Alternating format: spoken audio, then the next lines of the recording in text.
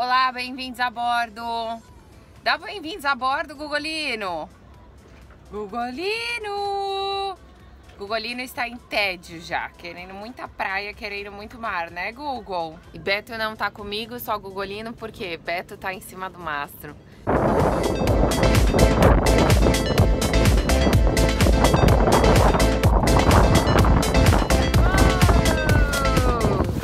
Para quem assiste a gente, sabe que a previsão do tempo não é muito boa para subir, né? Principalmente janeiro, fevereiro, começa a ficar melhor mais para frente.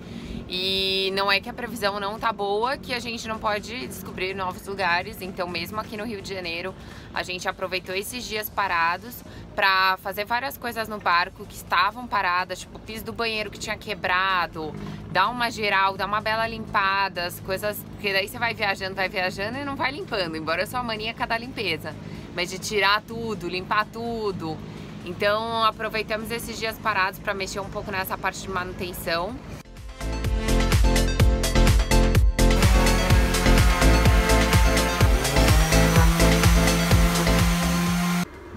Enquanto eu preparo coisa para os apoiadores, Beto segue... Beto segue sujando com as madeirinhas.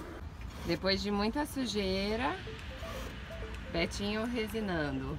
Resinando, né?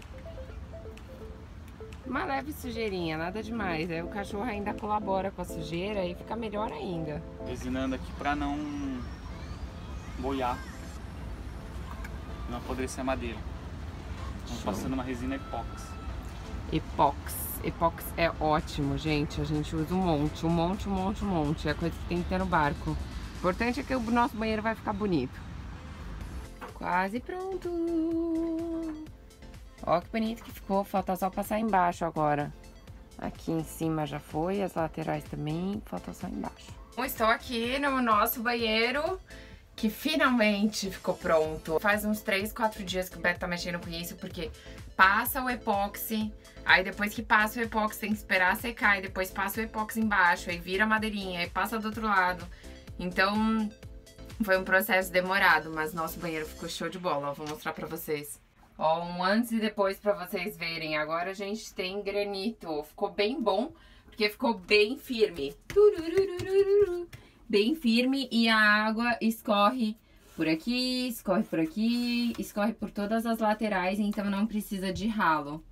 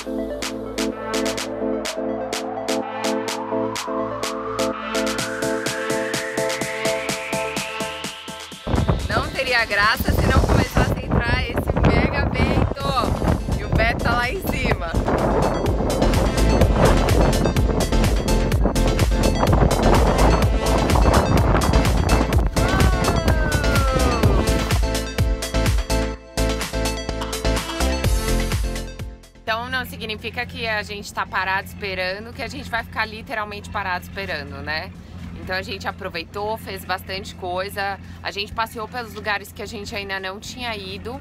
Então eu fui um dia na Feira do Lavradio com a Paula, depois a gente aproveitou, pegou praia em Ipanema, enquanto os meninos ficaram no barco velejando com o ex-dono, que também veio pra cá aproveitar que a gente ainda estava no Rio. É, eu e o Beto fomos no Jardim Botânico. Hoje é dia de Jardim Botânico. E nós alugamos hoje a bike da, aqui do Itaú, no Rio, que é muito bom isso. Você paga tipo 10 reais pra você usar o mês inteiro ou você paga 5 reais pra usar 24 horas. Então a gente vai até o Jardim Botânico de Bike e a gente teve que deixar Gugolino, porque Gugolino não é bem-vindo no Jardim Botânico.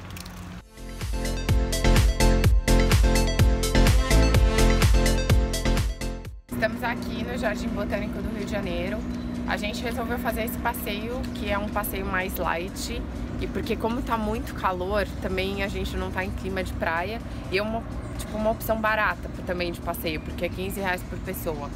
Então a gente veio pra cá e é bem bacana o lugar, é bem natureza, bem calmo, passeio. Mas dá pra você curtir assim o dia e é bem fresquinho por aqui, só traz repelente.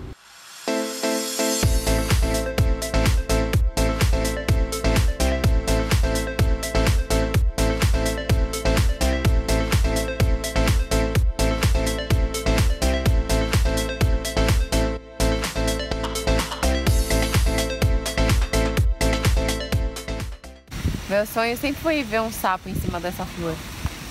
Sabe o sapo que você beijava e virava príncipe? Você, eu não te encontrei aí, Igor, viu?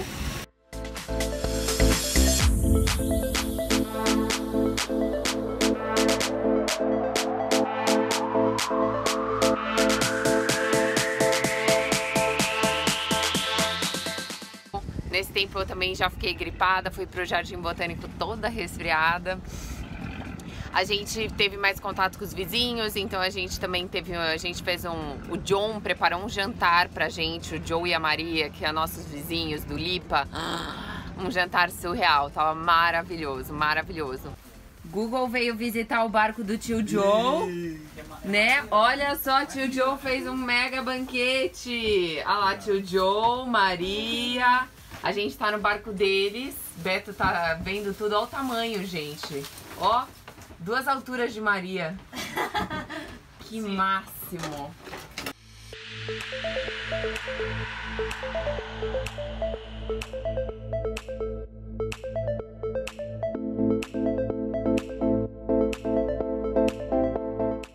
Ó, oh, Joe, explica aí pra gente o que, que, é o prato de hoje.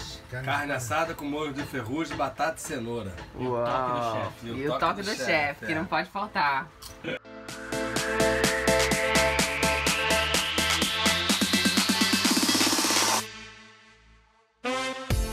Indo até o Yacht Club de Camaro, é. Depois que a gente trabalhou muito, muita sujeira, muita madeira, limpei churrasqueira, saí toda imunda, tomei um boinho e agora nós vamos comer.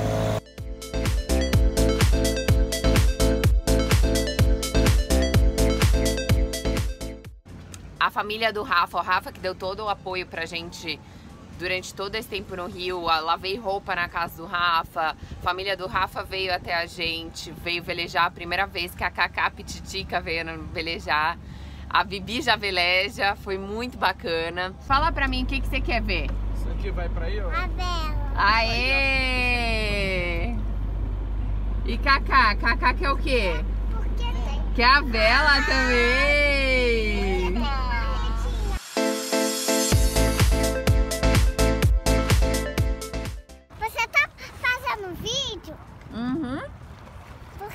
Que, que você quer falar no vídeo? Que a gente passou pela ponte. Que o que a gente passou pela ponte, você achou que a gente não ia passar, né, Bibi? É. Mas a gente passou. Ó o bonde do jogo hoje! É. Hoje a gente tá com a melhor companhia impossível, né, Bibi? É. Bibi, você tá curtindo? Tô. Uh, olha a onda, Bibi!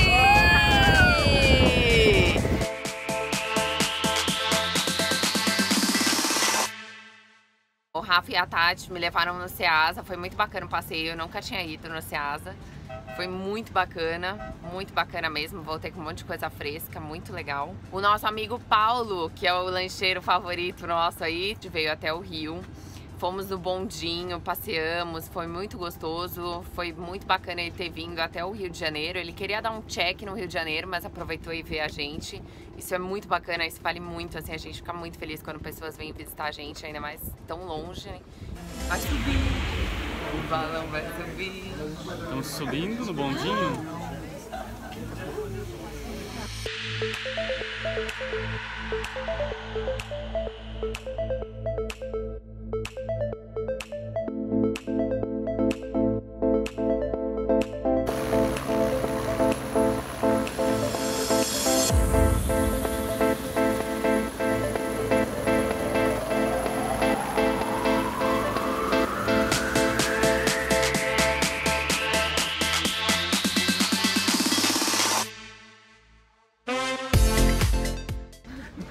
Legal de subir no bondinho é a gente ficar podendo olhando os barquinhos aqui embaixo.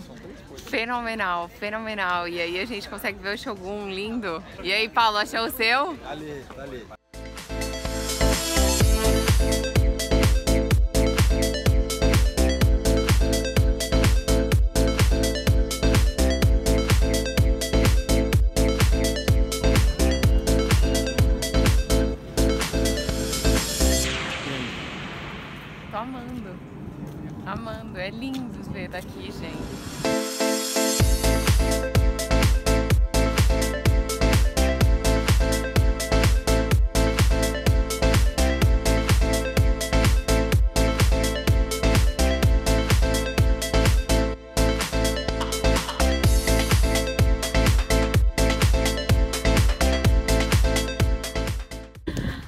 Olha o lancheiro pelejando. Meu Deus do céu.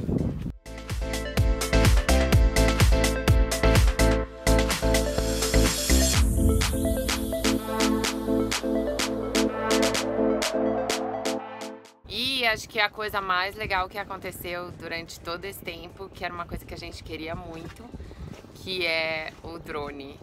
Um casal maravilhoso, que eu amo demais, que é Beto e Cláudia. Deram o drone pra gente. E me falta palavras, fal- falta total palavras para descrever o quanto a gente queria isso.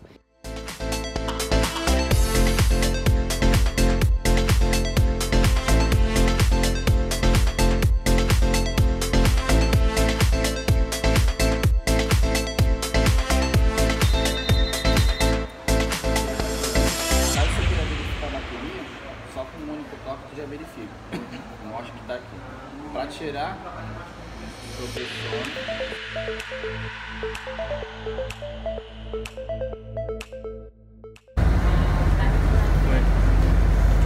A gente tem um drone. Eu tô muito feliz. Eu não sei brincar, pra mim é videogame, sabe? Mas eu acho que a qualidade do vídeo vai aumentar muito, que as coisas, tipo, as imagens vão ficar sensacional. A gente fica sem palavras pra agradecer. Sem palavras mesmo. Ti- Tira o fôlego, né? Dá até falha a garganta, assim. Super obrigada. Super, super, super, super.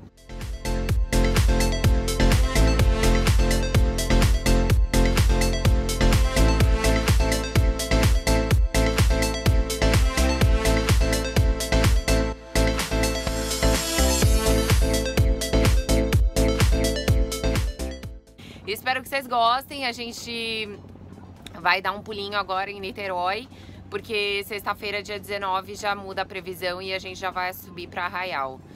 Vamos ver se vai ter vento, se não vai ter vento, mas é a previsão, a única previsão de não ter vento contra, nem maré contra. Então vamos aproveitar aí a brecha que a gente tem. Mas aproveitamos muito o Rio de Janeiro, muito, muito, muito. Já viramos praticamente carioca. Quando a gente começa a virar carioca, peguei metrô, alugamos bike, andamos de ônibus, tudo. Aí quando você fica local é a hora de ir embora, né? Então, hora de dizer tchau ao Rio de Janeiro. Mas foi maravilhoso. O Rio de Janeiro continua lindo. Cada pôr do sol, um pôr do sol mais lindo que o outro. Foi maravilhoso. Super obrigada a todos do Rio que deu super apoio pra gente. Toda hora que a gente levantava, tinha alguém na muretinha esperando a gente para conversar com a gente, eu passava de stand-up, foi muito bacana. Contato assim com todo mundo assim é muito legal e o Rio de Janeiro acho que foi super bacana nessa, nessa parte. Então é isso, espero que vocês gostem. Se vocês gostaram do vídeo, curtem, compartilhem. Se você não está inscrito no canal, se inscreve no canal. E é isso, bons ventos. Até a próxima, é a próxima Niterói e Arraial.